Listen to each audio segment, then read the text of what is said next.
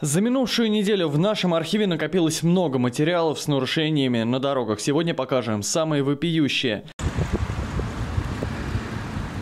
Энгельс, площадь Свободы. Александр Михайлов заснял на видео инкассаторов-нарушителей. Говорит, водитель бронированной машины заехал на тротуар через пешеходный переход и продолжил движение.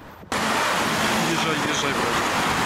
Телезритель Игорь снял автохама на Hyundai. Трасса похожа на Вольскую. Обгон запрещен на участке, но водитель внедорожника это делает. Еще и через сплошную. Очевидец просит наказать лихача. Молодец, правильно. Может, выложить его? Не надо. Надо правильно говорить наш помощник Патрик. Таких ездаков лучше показывать. На кадрах улица Рабочая. Водитель черной иномарки решил не стоять в заторе и поехал по тротуару. Промчался рядом с пешеходами. Пробки никому стоять неохота. В Москве пусть ездит на трех семерках на своих маленьких. Чуть дальше еще несколько нарушителей автохамы на иномарках пытаются проехать посередине. И это все лишь бы не стоять в пробке. Вот еще один МД. Тут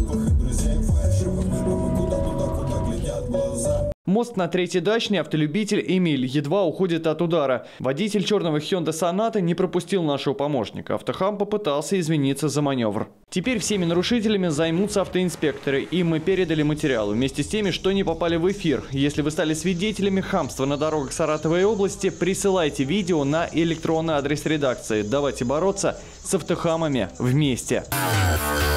Thank you.